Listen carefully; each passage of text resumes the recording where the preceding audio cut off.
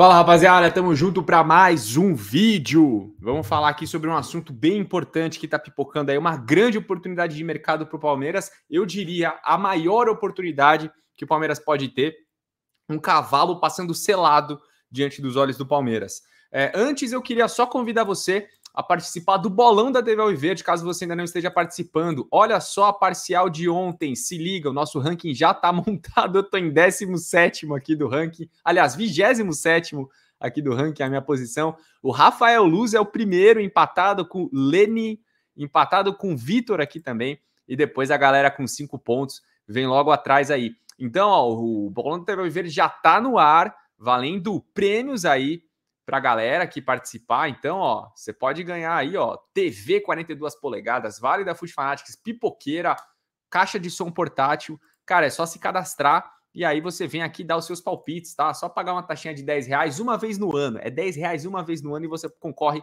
a esses prêmios que eu falei duas vezes no mês 6 e no mês 12. Então, faça aí como a galera, se cadastra aqui no Bolo da TV Alviverde, vem brincar com a gente e concorrer a prêmios. Eu tô participando só por esporte, eu não posso ganhar, tá? Eu sou tipo café com leite. Mas vem aqui ver se você fica na minha frente, pelo menos. Vamos lá, rapaziada, vamos falar de mercado da bola.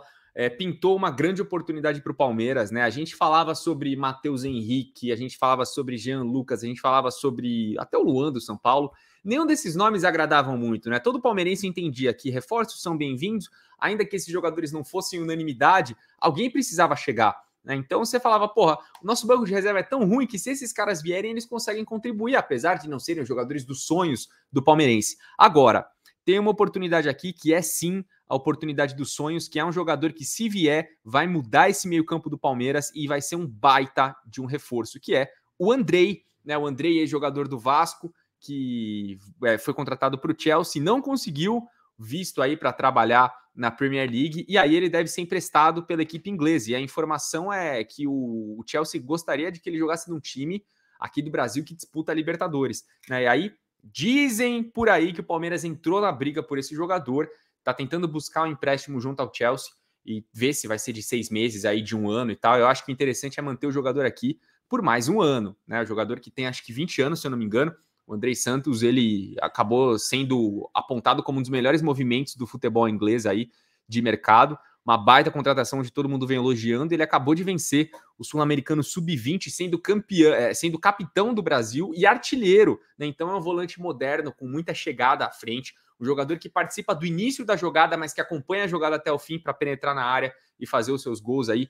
Então, seria um acréscimo muito importante aí. Talvez um jogador que tenha até mais potencial de desenvolvimento do que o próprio Danilo. Né? Não à toa, o Chelsea veio e abocanhou o jogador, um clube da primeira prateleira da Premier League. Então, o Andrei Santos seria uma baita contratação, a melhor reposição que o Palmeiras podia fazer, ainda que por empréstimo, ainda que só por um ano, mas seria esse, esse jogador que a gente tanto precisa, que encaixaria aí do lado do Zé Rafael, fazendo uma dupla que a gente merece, né? Que, que o Palmeiras precisa, né? Ficou claro no jogo de ontem que a gente precisa de reforços. E quando a gente pensa, porra, é, o, o Andrei Santos ele saiu do Vasco, que é o arquirrival do Flamengo.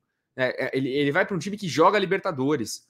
Aqui ele seria titular absoluto ao lado do Zé Rafael. Então todo o cenário está montado para ele vir ao Palmeiras. Inclusive o Palmeiras acabou de jogar com o Chelsea final do Mundial, cara. Chega lá no Chelsea, manda o papo, a gente quer o Andrei, estreita já essa relação que, que é que caminhos se cruzaram em 2021 se preciso for, oferece é, preferência de compra para algum jogador do Palmeiras. A nossa base está recheada de talentos. O próprio Giovani é uma venda inevitável. Cedo ou tarde o Giovani vai ser vendido, a gente sabe disso. O Estevam, o Luiz Guilherme, né? tem uma série de jogadores aí que a gente sabe vão ser vendidos. Então, por que você não oferece uma preferência de compra? Preferência de compra não é, é abrir mão do valor do jogador, é simplesmente dizer, porra, se tiver duas propostas iguais, é, a gente vai valorizar a do Chelsea, a gente vai priorizar a do Chelsea. Então, cara, chega e conversa. Eu acho que o caminho está muito propício para que o jogador venha para o Palmeiras. E se o Palmeiras não conseguir seduzir nem o Chelsea e nem o Andrei Santos, porque no fim das contas o Chelsea quer emprestar, né? Não sei se eles vão palpitar muito sobre para onde ele vai. Acho que cabe também ao jogador escolher para onde ele quer ir. Então a decisão meio que fica nas mãos dele. Se o Palmeiras não conseguir seduzir esse jogador,